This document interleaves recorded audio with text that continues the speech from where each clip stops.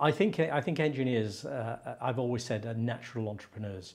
Um, they they fundamentally have a have a curiosity as to how things work. They innovate, and uh, throughout the throughout the ages, it's engineers that have driven the major inventions uh, for uh, for society.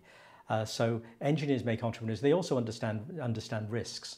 So which is very very important in starting up any business. You have to understand the inherent risks that you're that you're taking on, and uh, it's not about not taking risks. It's about managing those risks, understanding them at the end of the day, mitigating them.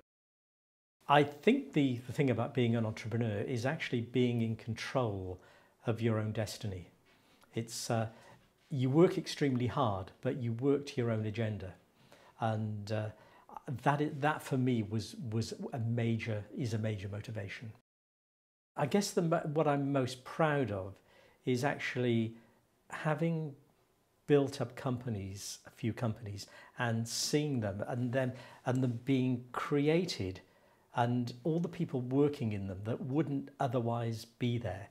And the fact that you've hopefully had a, a positive impact on not just the people who work for the business, but all their all their families and every and everything like that. You created something that wasn't that wasn't there, that is that is hopefully lasting, that it's there for it's there for long for longevity. As you get to a certain size, as you get to a certain profit level, companies start to approach you. If you've developed something that is of value within the market, then it tends to happen that larger companies want to get access to that and uh, will start to make offers for you.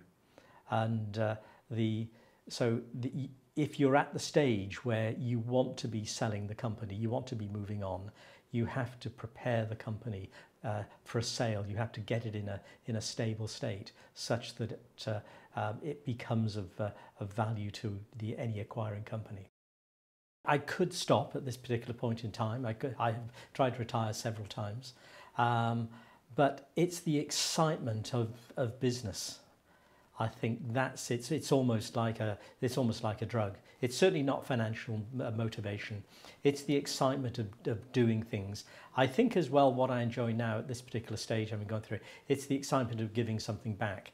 Um, it's the excitement of, of, of seeing you know people uh, people develop things, people come up with ideas, and even people within, within our own organisation uh, be developing new things and developing new ideas and giving them the freedom to uh, to do that. Um, it's just being involved in business and doing things is a very very exciting and interesting thing to do.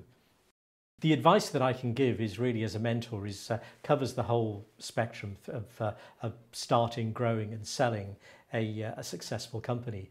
Um, I've gone through that process several times from you know, raising venture capital finance to the challenges that there are on, on growing a business and to the final stage of, uh, of ultimately realizing the investment and uh, all the work that you've put in, either through a, uh, a sale to a corporate um, or through to an IPO.